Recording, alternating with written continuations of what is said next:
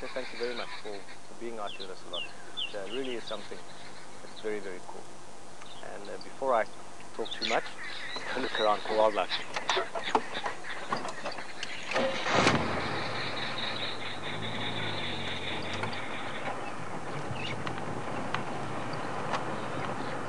Oh, look at that.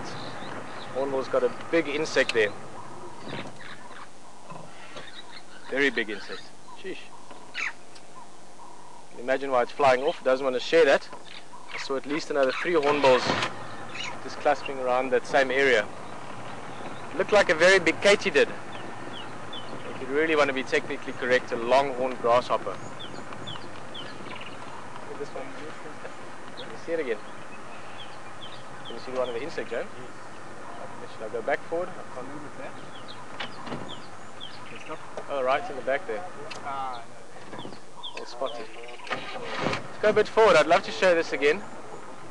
Looks like about the same size as the one we saw that one night, James. Remember when we took some photos? Huge insect. There it is. Ah, it's flying off again. Now I think it's going to get away from all of us. Yes, that was huge. That would have been, to give you an idea, the hornbill's beak is about that long.